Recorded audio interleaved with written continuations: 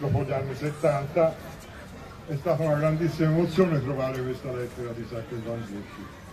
È stata un'emozione perché poi siamo riusciti con quel poco che è rimasto, che comunque non è poco, a ricostruire anche un po' questa vicenda. E Rocco Brindisi si prende per fare un, una statua a Dante perché ci sia... E quanto è conosciuto Dante nel mondo?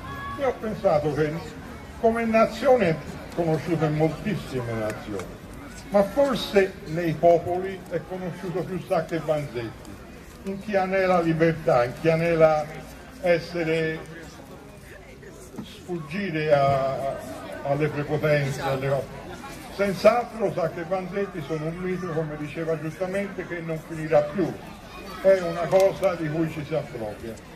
E sono oltretutto felice stasera, chiudo perché così lascio spazio a altri, essere riuscito a portare un altro qualche cosa, perché tutte le volte che ognuno di noi riesce a inserire un granellino in questa cosa no, si aumenta la nostra capacità di intendere.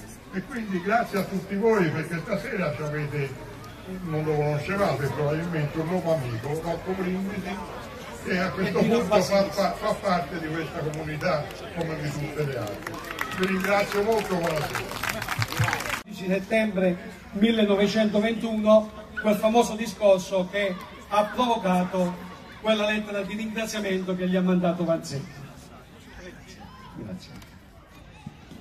Vero è che di tanto in tanto si risolleva, per opera soprattutto di pubblicisti americani di pelo fulvo, un'onda di fobia contro le popolazioni sudorientali d'Europa a pelo scuro, onde che provocano vergognosi episodi di violenza come quelli verificatisi nel luglio scorso in Pennsylvania, o verdetti inqualificabili come quello di Dedham. Ma non va dubbio che quest'onde malefiche si frangeranno definitivamente contro la diga che i nostri giovani va costruendo con volontà ed energia. Grazie.